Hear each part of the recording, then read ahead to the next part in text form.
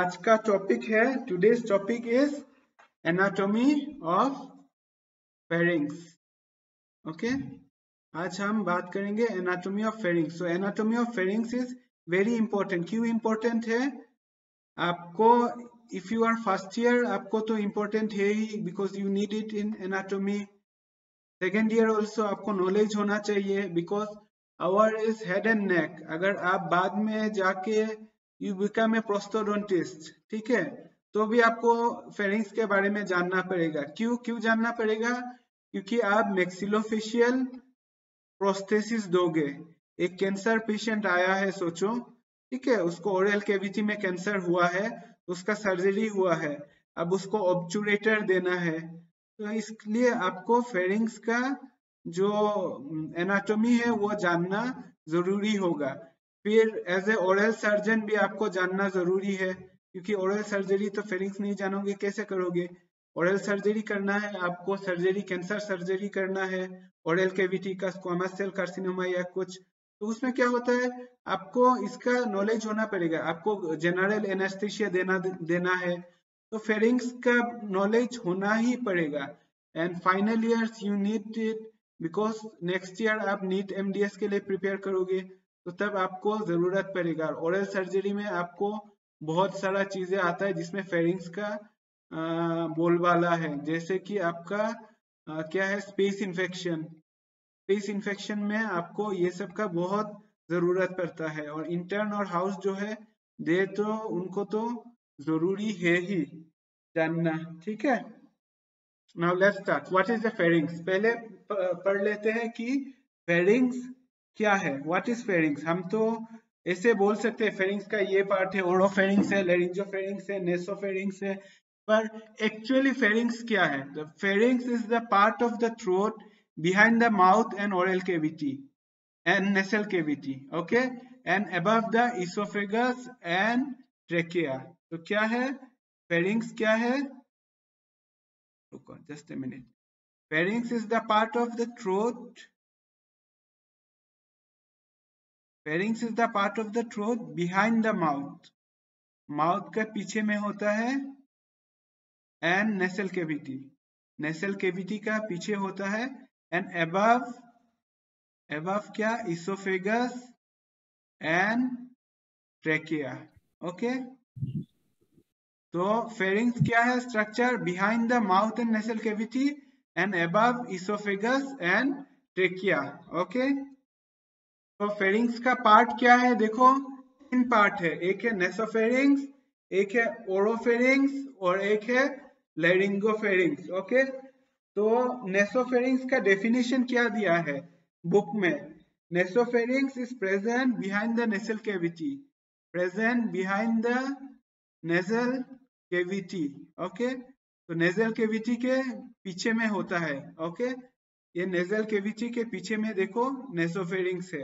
Behind the nasal cavity and above the soft palate and above the soft palate तो देखो ये above the soft palate है कि नहीं ये हमारा hard palate है okay you know first year hard palate soft palate ये पीछे में हमारा सॉफ्ट पैलेट है तो देखो ये नेसोफेरिंग्स कहा है बिहाइंड द नेसल केविटी और above the soft palate okay and communicate with the nasal cavities और नेसल केविटी के साथ कम्युनिकेट करता है through the and communicate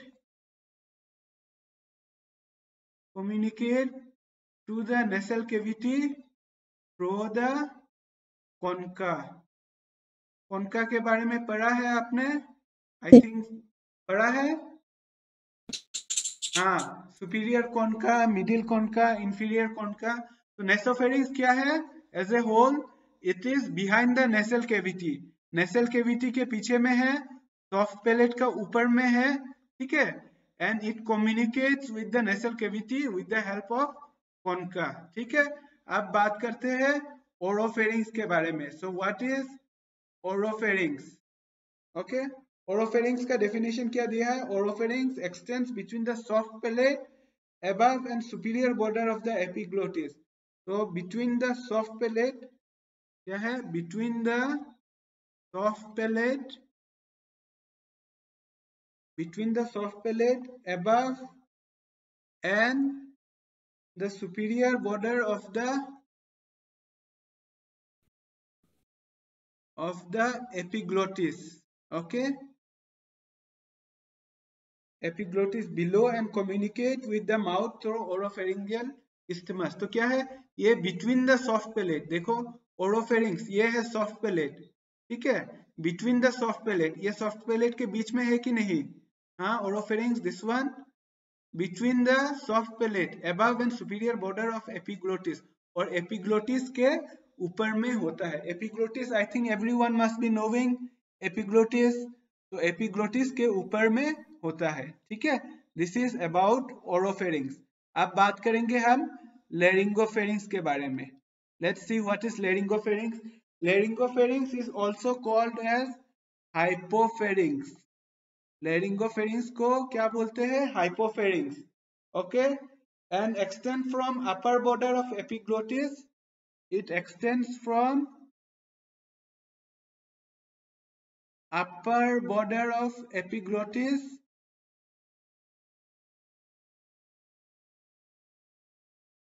to the lower border of cricoid cartilage, lower border of cricoid cartilage. तो ये तीन आपको याद रखना पड़ेगा, ठीक है? एनाटोमी में समझना भी है और याद करना भी है और थोड़ा सा स्केच बनाना भी है हमको। ये तीनों में हमको माहिर होना पड़ेगा। स्केच कैसे बनाना है? प्रैक्टिस करना पड़ेगा। व्हाइट पेपर लो और प्रैक्टिस करते रहो, ठीक है? तो नेसोफेरिंग्स के बारे में हमने बात किया, कहाँ पे है, कहाँ से एक्सटेंड करता है?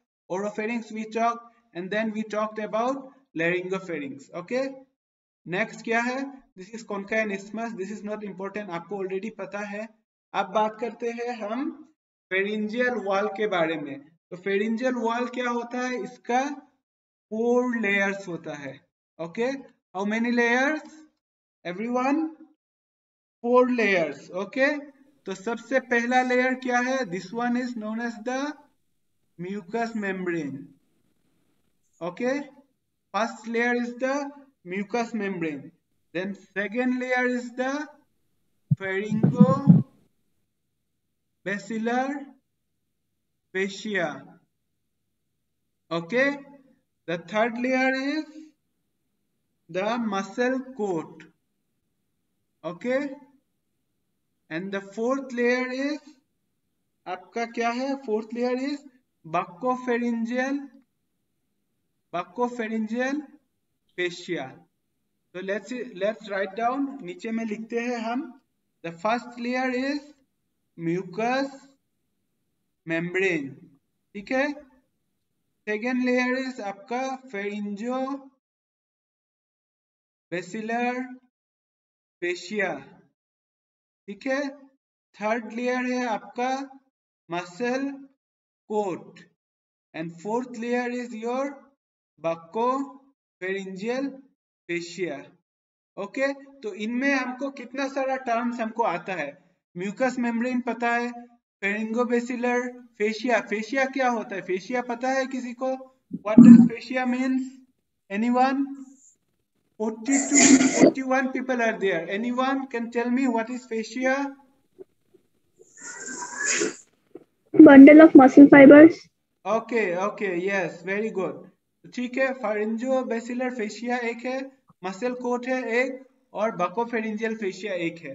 ठीक है तो this are the four layers of pharyngeal wall okay तो यहाँ पे मैं फेशिया का for those who are new जो फ़र्स्ट ईयर है I think they have heard about fascia पर उनको इन डिटेल्स नहीं पता हो सकता है। So is a fascia is a band or sheet of connective tissue, primarily collagen. तो क्या है fascia is a sheet of connective tissue. Okay, it is a sheet of connective tissue. Primarily क्या करता है इसमें collagen. Beneath the skin. कहा skin के नीचे होता है. Okay, beneath the skin that attaches. क्या करता है अटैचमेंट करता है stabilizes, okay, encloses, and separates muscles and other internal organ. Fascia is classified by layer as superficial fascia और डीप फेशिया देखो फेशिया कैसे डिवाइड करते हैं हम? सुपरफिशियल जो ऊपर की तरफ़ है। Superficial fascia okay and deep fascia ठीक है? We also classify it as visceral और पेराइटल फेशिया विसरल और पेराइटल फेशिया और बाय इट्स फ़ंक्शन उसका फ़ंक्शन और एनाटोमिकल लोकेशन के कारण भी हम इसको डिवाइड कर सकते हैं। जैसे हमने यहाँ पे बात किया पेरिंगोबेसिलर फेशिया तो ये एनाटोमिकल लोकेशन के कारण डिवाइड किया है। बाको फेरिंजल फेशिया ठीक है? जो बक्सीनेटर और फेरिंजल के बीच में है दैट इज़ बाकोफेरिंजियल फेशिया तो we divided according to the anatomical location okay तो क्या है fascia fascia is a band और शीट ऑफ़ कनेक्टिव टिश्यू ये कनेक्टिव टिश्यू है प्राइमरीली कोलाजन कोलाजन होता है बिनेथ द स्किन स्किन के नीचे that attach stabilizes and closes and separate muscle and other internal organ उसका क्लासिफिकेशन क्या है? Superficial fascia and deep fascia and we can also classify it as visceral fascia and parietal fascia और anatomical location से भी हम इसको classify कर सकते हैं अब कनेक्टिव टिश्यू का भी डेफिनेशन मैंने लिखा था but I hope I guess आप सबको कनेक्टिव टिश्यू पता है You know everyone? Yeah, or you want me to explain what is connective tissue? Please. 44 people are there. One, one can tell. You want me to talk about connective tissue or you know it? कोई नहीं बोल रहा यार अजीब है। राजेश बोलिए भैया। बोलो। बोल दीजिए। हाँ हाँ ठीक है। ऐसे यू रिप्लाई ना मुझे रिप्लाई नहीं मिलेगा तो मैं कैसे वो करूँगा? There must be some interaction ना? ठीक है लाइव क्लास है ये। हाँ आप यूट्यूब पे देख रहे हो तो अलग बात है। This is live class you should interact ठीक है? तो connective tissue is one of the four basic types of animal tissue तो चार तरीके का टिश्यू होता है, उनमें से एक है connective tissue okay along with epithelial tissue होता है मसल टिश्यू होता है और नर्वस टिश्यू होता है। और कनेक्टिव टिश्यू कहाँ से डेराइव होता है? इट डेवलप्स फ्रॉम मेसोडर्म आपको जब first year when I will teach you embryology हम बात करेंगे मेसोडर्म, एक्टोडर्म और एंडोडर्म के बारे में। तो अभी फ़िलहाल याद रखो कि connective tissue is derive from mesoderm okay? Connective tissue is found in between other tissue everywhere in the body. तो हर जगह पे कनेक्टिव टिश्यू हमको मिलता है including the nervous system nervous system में भी कनेक्टिव टिश्यू होता है।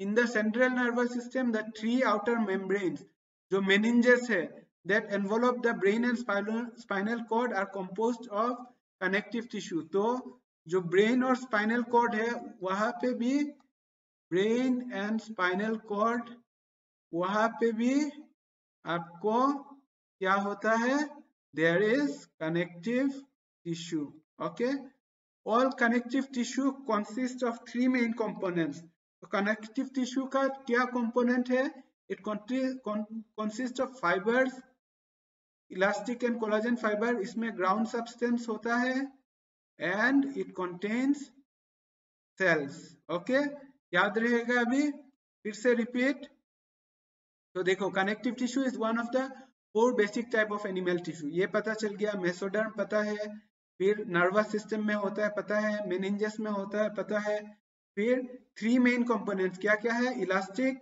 एंड कोलाजन फाइबर्स होता है then ground substance and cells okay next अभी हम बात करेंगे व्हाट इज़ फेरिंजल रफे हमने सुना होगा फेरिंजल रफे ओके तो हम पहले बात कर देते हैं कि there are six three types of constrictor muscle and three type of longitudinal muscle okay ठीक है? तो all the three constrict constrictor muscle का कॉमन इंसर्शन कहा है? This is the this green line you have seen here it is the pharyngeal raphe this green line you can see it is the pharyngeal this is the superior constrictor this is the middle constrictor and this is inferior constrictor ठीक है? तो ये superimpose करते हैं। देखो superior constrictor के ऊपर middle constrictor है मिडिल कॉन्स्ट्रिक्टर के ऊपर इंफीरियर कॉन्स्ट्रिक्टर है। तो दे सुपर इम्पोज ओके तो this is pharyngeal raphe is the common insertion of हर कोई कॉन्स्ट्रिक्टर मसल यहाँ पे आके इंसर्शन करता है ओके एंड दे ओवरलैप बताया मैंने जो कॉन्स्ट्रिक्टर मसल है, एक दूसरे को ओवरलैप करते हैं ओके फाइन नेक्स्ट आप कितना बताया था मैंने मसल्स कितना है पेरिंग्स में? तीन लॉन्गिट्यूडिनल है three longitudinal muscles okay and three circular muscles आपका तीन लॉन्गिट्यूडिनल मसल है और तीन सर्कुलर मसल्स है। लेट्स सी तो this are the longitudinal muscle okay longitudinal muscle का नाम क्या है? स्टाइलोफेरिंजियस ओके फेरिंग्स और स्टाइलोइड स्टाइलोइड पकड़ो और स्टाइलोइड प्रोसेस और फेरिंग्स मिला के क्या होता है? Stylopharyngeus okay? पेलेटोफेरिंजियस, पेलेट और फेरिंग्स मिला के हुआ पेलेटोफेरिंजियस एंड सेल्फिंजोफेरिंजियस। सेल्फिंजो क्या होता है? This is the auditory tube हमारे कान में ऑडिटरी ट्यूब नहीं होता है। तो ऑडिटरी ट्यूब के साथ कनेक्ट होता है, उसको बोलते हैं सल्फिंजो फेरिंजियस ओके? तो क्या क्या क्या बताया मैंने? तीन तरीके का लॉन्गिट्यूडिनल मसल होता है। क्या है? बताओ। आप बताओ आपके तरफ़ से। 40 people anyone Stylo, yes Phalanges. Phalango, and salpingopharyngeus. yes then salpingopharyngeus okay अब एक लाइन देखो मैंने येलो में बॉर्डर किया है वो भी रेड फॉन्ट में। ये बहुत इंपॉर्टेंट है। हमने बताया था सर्कुलर मसल कहाँ पे इंसर्ट होता है? Where does circular muscle insert Pharyngeal raphe. हाँ फेरिंजियल रफे पे इंसर्ट होता है। तो उसी तरह लॉन्गिट्यूडिनल मसल भी एक जगह पे इंसर्ट होता है। कहाँ पे?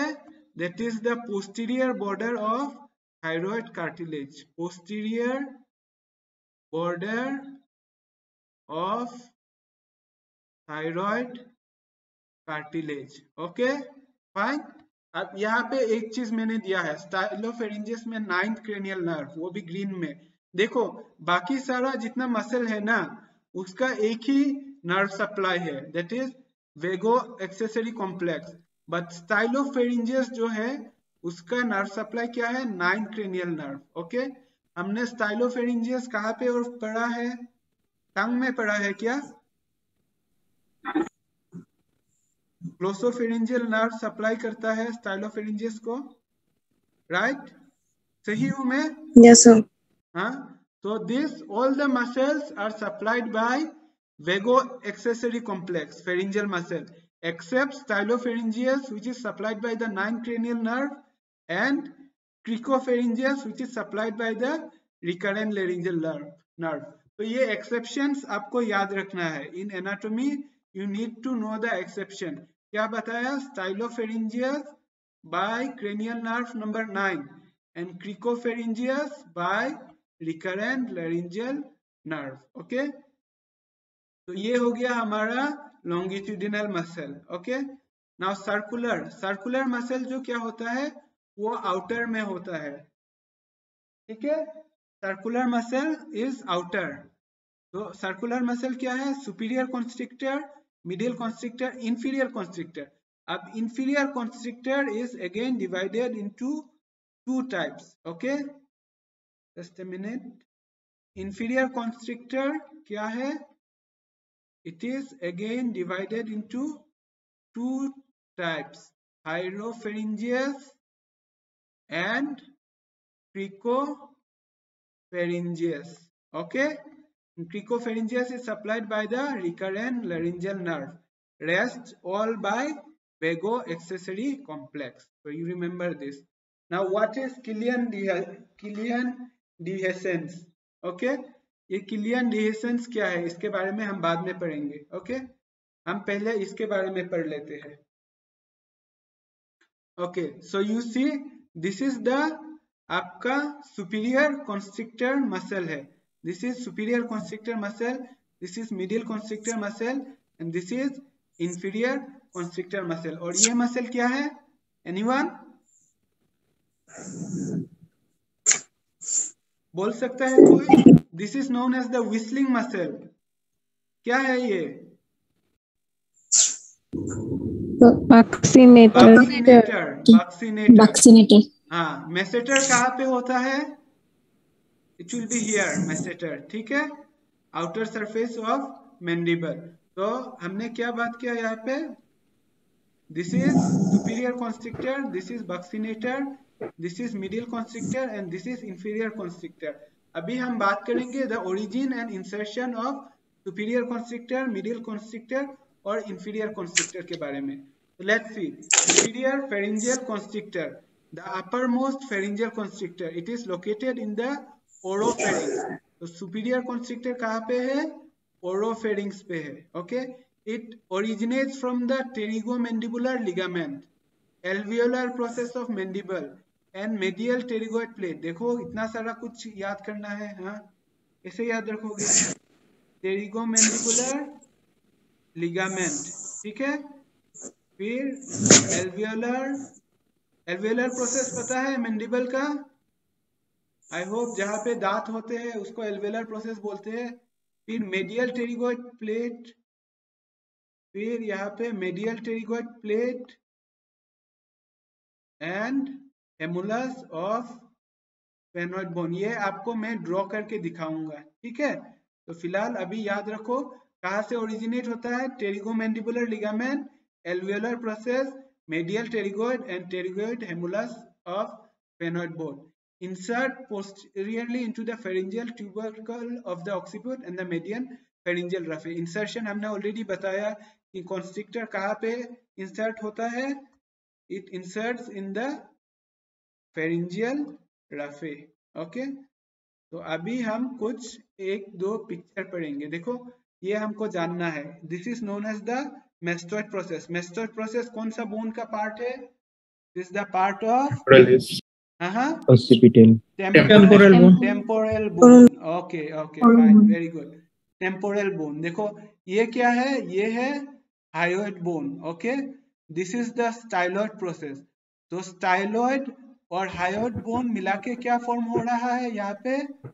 स्टाइलोहायोइड मसल ओके ठीक है? This is posterior belly of digastric ये हायोइड बोन है और this is the mylohyoid muscle तो ये फ़ोटो दिखाने का मेरा मतलब क्या है? I want to orient you to styloid stylohyoid ligament देखो स्टाइलोहायोइड लिगामेंट हमने पढ़ा ना यहाँ पे स्टाइलोहायोइड लिगामेंट कहाँ पे पढ़ा था? ओके नेक्स्ट स्लाइड में मैं भी स्टाइलोहाइड लिगामेंट देखो, ये स्टाइलोइड प्रोसेस है और ये हायोइड बोन है, ठीक है? तो दिस कनेक्शन स्टाइलोहाइड जो लिगामेंट कनेक्ट करता है, उसको बोलते हैं स्टाइलोहाइड लिगामेंट ओके ये ओरिएंटेशन था आपको। तो लिगामेंट क्या है, पता है? Anyone will tell me what is ligament ligament क्या है?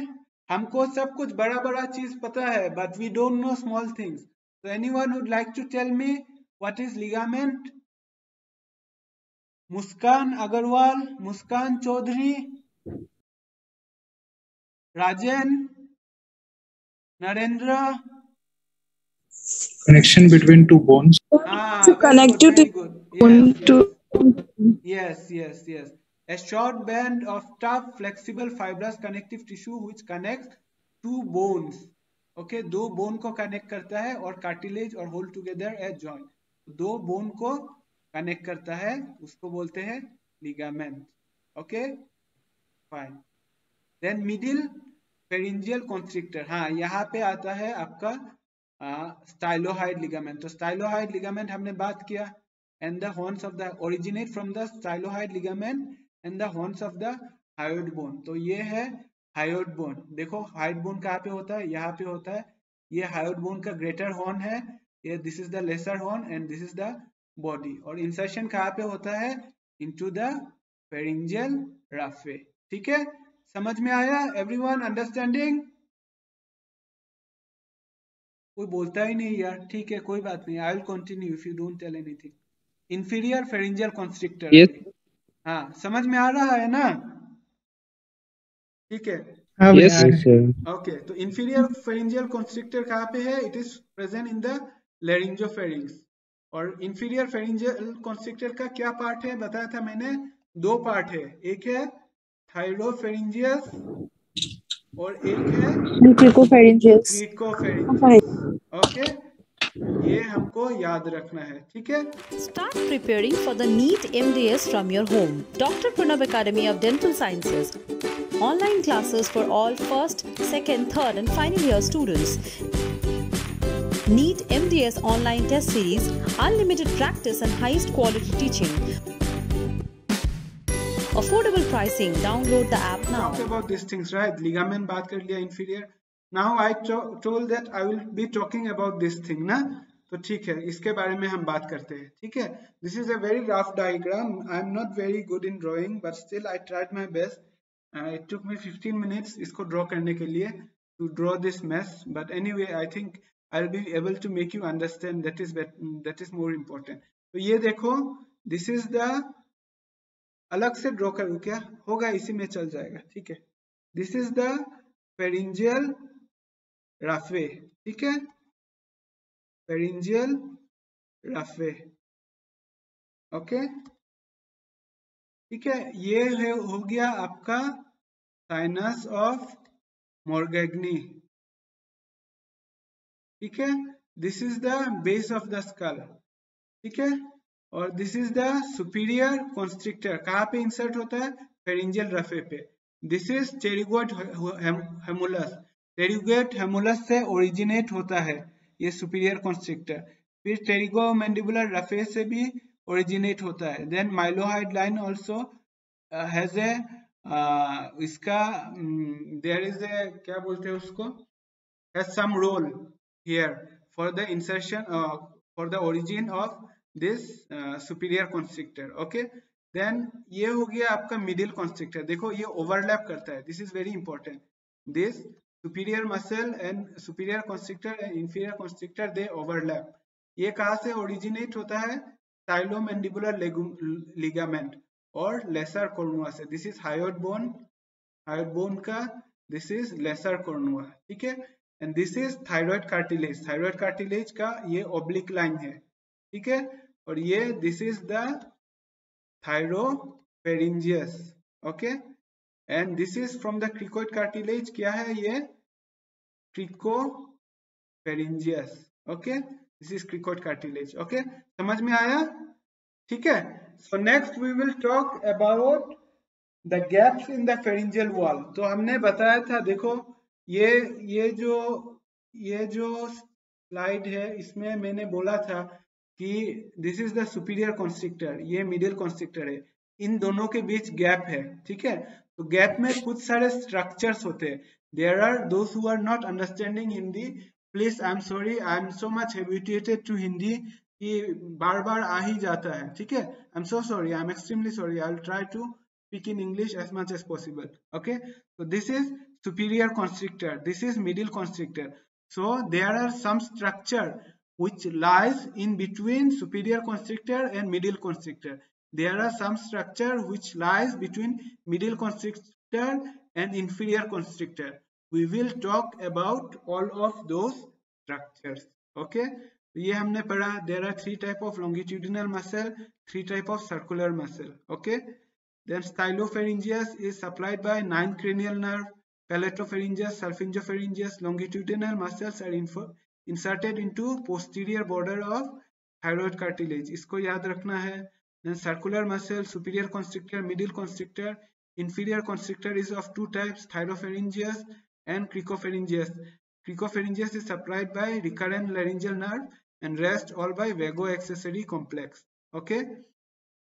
के बारे में बाद में बात करूँगा बताया था पर this is you will know only एक ही चीज़ है this is the superior constrictor this is the middle constrictor this is the inferior constrictor का thyropharyngeus part cricopharyngeus part this is killian's dehiscence this is oesophagus ये crico cricoid cartilage है cricoid cartilage से cricopharyngeus आया है thyroid cartilage से थायरोफेरिंजियस आया है this is hyoid bone this is stylohyoid ligament so this is all i have explained only. What i have drawn this messy diagram instead of uh, wasting my time on that I, if i could have just shared you this picture it was enough so this picture ये याद रखो exam में ये आप draw करो ठीक है first year BDS you draw draw in your exam this diagram okay उस इसके बारे में बात किया सुपीरियर ये बात किया लिगामेंट कर लिया then this one also done हाँ this is the one now I wanted to talk about तो देखो मैं अलग से एक डायग्राम ड्रॉ करूँगा ओके दिस यहाँ पे आपको शायद दिक्कत होगा। बाद में यहाँ पे समझाऊँगा। पहले आई विल ड्रॉ डायग्राम तो this is the base of the skull ठीक है? This is the pharyngeal raphe okay this is the superior constrictor. Okay? This is the middle constrictor. Okay? And this is the inferior constrictor. तो एक side में draw किया तो दूसरे side में क्यों नहीं ड्रॉ करेंगे? दूसरे साइड में भी हम ड्रॉ करेंगे। This is the superior constrictor this is the middle constrictor okay and this is the inferior constrictor now we want to know is superior constrictor और middle constrictor this is superior constrictor और middle constrictor इसके बीच क्या है और middle constrictor और inferior constrictor के बीच में क्या है? Superior constrictor और middle constrictor के बीच में क्या है?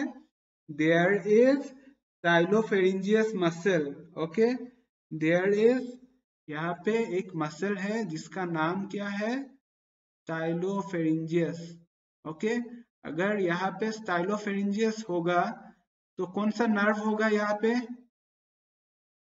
If there is stylopharyngeus muscle here कुछ नर्व विल बी देयर इसके साथ हाँ glossopharyngeal nerve very good very good तो यहाँ पे आपको ग्लोसोफेरिंजियल ग्लोसोफेरिंजियल नर्व भी होगा, ठीक है? यहाँ पे ग्लोसोफेरिंजियल नर्व होगा, ठीक है? ग्लोसोफेरिंजियल नर्व तो यहाँ पे सेम चीज़ दिखाया है, देखो this is the superior constrictor ठीक है? हाँ ये बाद में बात करेंगे this is the middle constrictor यहाँ पे क्या दिखाया है, देखो where it is this is the stylopharyngeus muscle ठीक है? और ग्लोसोफेरिंजियल नर्व ओके समझ में आया? अब बात करेंगे मिडिल कॉन्स्ट्रिक्टर और इंफीरियर कॉन्स्ट्रिक्टर के बीच में क्या है ओके तो यहाँ पे क्या है? देयर इज़ आपका एक आता है internal laryngeal nerve okay will be talking more about this things आपका जब लेरिंग्स और इसोफेगस वो सब बात करेंगे we will be talking more तो इंटरनल लेरिंजल नर्व होता है यहाँ पे और superior laryngeal artery okay superior laryngeal artery ये दोनों होता है। मैं टेबल बना के आपको लिख के दूँगा, ठीक है? ये दोनों हो गया। देखो यहाँ पे मिडिल कॉन्स्ट्रिक्टर और ये इंफीरियर कॉन्स्ट्रिक्टर इन दोनों के बीच में क्या है? Interior internal laryngeal nerve and superior laryngeal vessels okay अब क्या हुआ? इंफीरियर कॉन्स्ट्रिक्टर के नीचे में क्या है? इंफीरियर कॉन्स्ट्रिक्टर और इसोफेगस के नीचे में क्या है? इंफीरियर कॉन्स्ट्रिक्टर और इसोफेगस के बीच में क्या है? तो we have got inferior laryngeal artery artery और vessels okay inferior laryngeal artery है और आपका रिकरेंट लेरिंजियल नर्व है यहाँ पे। ठीक है? तो ये हो गया आपको जान लिया सुपीरियर कॉन्स्ट्रिक्टर और middle constrictor you please draw this diagram in your exam this will highly impress your teacher okay middle constrictor और इंफीरियर कॉन्स्ट्रिक्टर के बीच में क्या है? अब एक चीज़ रह गया हमने। हमने बात नहीं किया। क्या नहीं बात किया? कोई बताएगा? हमने बात नहीं किया कि बेस ऑफ़ द स्कल और सुपीरियर कॉन्स्ट्रिक्टर के बीच में क्या है। नहीं बात किया हमने। राइट तो उसके बीच में क्या है? पहले तो होगा साइनस ऑफ़ मोर्गेग्नी यहाँ पे ओके साइनस ऑफ़ मोर्गेग्नी होगा यहाँ पे, ठीक है? फिर हमारा होगा auditory tube okay this is the auditory tube ठीक है? ऑडिटरी ट्यूब होगा। फिर क्या होगा? लेवेटर पेलेटाइन मसल एक मसल होगा जिसका नाम है, देखो यहाँ पे दिया है लेवेटर पेलेटाइन यहाँ पे मैं ड्रॉ करता हूँ levator this is very messy but आपको याद करना पड़ेगा। If you don't understand please do let me know I will make you explain I will make you understand again okay so this is levator palatini okay? Levator palatine muscle. Then क्या है आपका? Ascending ascending palatine artery यहाँ पे और एक होगा ascending palatine artery okay ascending palatine artery किसका branch है? पता है किसी को? It is a branch of facial artery okay ascending palatine artery is a branch of facial artery फिर और एक स्ट्रक्चर है यहाँ पे दैट इज़ आपका palatine branch of the ascending pharyngeal artery okay palatine branch of ascending pharyngeal artery. Okay? ठीक है? तो we will revise again. हम इसके बारे में, हम एक स्लाइड में लिख के बताएँगे ओके तो पहले between the base of the skull base of the skull and superior constrictor muscle and superior, constrictor muscle, ठीक है? अब देख देख के बताओ मुझे, यहाँ पे क्या क्या होगा? ऑडिटरी ट्यूब होगा लेवेटर पैलेटी मसल होगा असेंडिंग पेलेटिन आर्टरी होगा, और palatine branch of ascending pharyngeal artery let's write it down ठीक है? क्या होगा? पहले होगा auditory tube fine then next होगा levator palati muscle okay then होगा असेंडिंग पेलेटाइन आर्टरी ये आप स्क्रीनशॉट मार दो यहाँ पे आप फ़ोटो खींच लो इसका ठीक है और अदरवाइज़ बुक में तो है ऐसे भी आप बुक में देख लेना palatine branch of ascending pharyngeal artery. So this is between the base of the skull and superior constrictor muscle. now between superior constrictor and middle constrictor okay? तो क्या क्या है यहाँ पे? स्टाइलो स्टाइलोफेरिंजियस जहाँ पे स्टाइलो स्टाइलोफेरिंजियस होगा वहाँ पे क्या होगा? एनी वन क्या रहेगा? Ninth ninth nerve very good glossopharyngeal हाँ ग्लोसोफेरिंजियल सुपीरियर और मिडिल कॉन्स्ट्रिक्टर के बीच में होगा टाइलोफेरिंजियस एंड ग्लोसोफेरिंजियल अब नेक्स्ट बात करते हैं between middle constrictor and inferior constrictor क्या होगा इसके बीच में? Internal laryngeal nerve and superior laryngeal vessels. Okay? Now next between inferior constrictor and your esophagus esophagus ठीक है क्या क्या होगा recurrent laryngeal nerve and inferior laryngeal vessels ठीक है ठीक है तो यहाँ पे हमारा डिस्कशन खत्म होता है any one like me to repeat anything जो समझ में नहीं आया है please feel free to ask okay I will explain it again for you anyone from first year सब समझ में आया? Sir, हाँ हाँ बताओ। What is the last part due to uh, network issues to be uh, error? अच्छा अच्छा। कौन हो तुम? नाम क्या है आपका? Sir, Megha Megha last part समझ में नहीं आया। Due to network issues Yes, sir. Okay okay fine ठीक है ये वाला। ये या ये? दिस वन दिखाई दे रहा है आपको? This one this one yes sir okay okay fine I will explain it again for you तो देखो यहाँ पे मैंने base of the skull draw किया। ठीक है? And this is the raphe ठीक है? यहाँ पे मैंने सुपीरियर कॉन्स्ट्रिक्टर ड्रॉ किया ठीक है? यहाँ पे मैंने मिडिल कॉन्स्ट्रिक्टर ड्रॉ किया और यहाँ पे मैंने इंफीरियर कॉन्स्ट्रिक्टर ड्रॉ किया तो मैंने पहले बोला था, क्या बोला था कि जो मसल्स है सुपीरियर कॉन्स्ट्रिक्टर है मिडिल कॉन्स्ट्रिक्टर इन दोनों के बीच कुछ स्ट्रक्चर्स होते हैं। जो मिडिल कॉन्स्ट्रिक्टर है इंफीरियर कॉन्स्ट्रिक्टर है, उन दोनों के बीच भी कुछ स्ट्रक्चर प्रेजेंट होता है। ठीक है? इंफीरियर कॉन्स्ट्रिक्टर है और आपका इसोफेगस है, उन दोनों के बीच कुछ स्ट्रक्चर होता है। तो उन स्ट्रक्चर्स के बारे में हम बात कर रहे थे। ठीक है? तो उन स्ट्रक्चर्स क्या क्या होता है? पहले मैं बात करूँगा सुपीरियर कॉन्स्ट्रिक्टर और मिडिल कॉन्स्ट्रिक्टर के बीच में क्या होता है? एक होता है आपका स्टाइलोफेरिंजियस मसल स्टाइलोफेरिंजियस मसल के साथ कौन सा नर्व होगा? नाइन्थ नर्व ओके तो ये हो गया सुपीरियर कॉन्स्ट्रिक्टर और मिडिल कॉन्स्ट्रिक्टर के बीच. मिडिल कॉन्स्ट्रिक्टर और इंफीरियर कॉन्स्ट्रिक्टर के बीच में क्या है? इंटरनल लेरिंजियल नर्व और आपका superior laryngeal vessel internal laryngeal nerve and superior laryngeal vessels ठीक है? इंफीरियर कॉन्स्ट्रिक्टर और इसोफेगस के बीच में क्या होगा? Recurrent laryngeal nerve and inferior laryngeal vessel recurrent laryngeal nerve and inferior laryngeal vessels अब ये सब बात कर लिया हमने। ये सुपीरियर कॉन्स्ट्रिक्टर है मिडिल कॉन्स्ट्रिक्टर है, ये इंफीरियर कॉन्स्ट्रिक्टर है। पर हमने एक चीज़ बात नहीं किया कि बेस ऑफ़ द स्कल और सुपीरियर कॉन्स्ट्रिक्टर के बीच में क्या है। तो यहाँ पे क्या है?